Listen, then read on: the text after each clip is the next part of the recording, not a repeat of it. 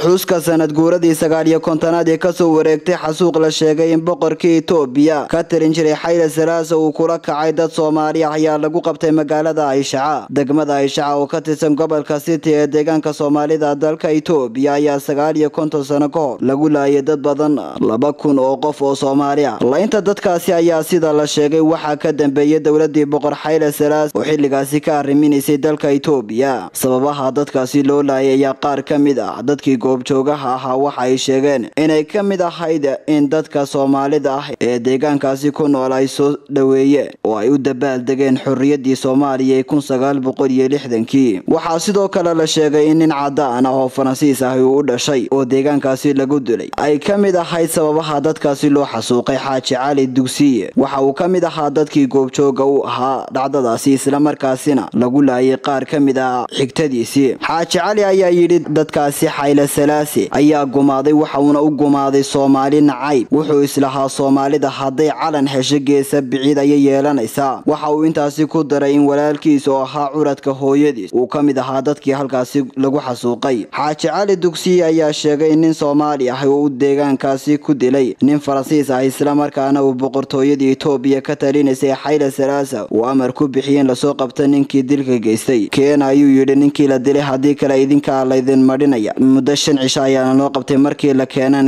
markii la keenay gaar ayuu ula baxay cabdirashiid maxamuud maxamed cabdirashiid warka star t v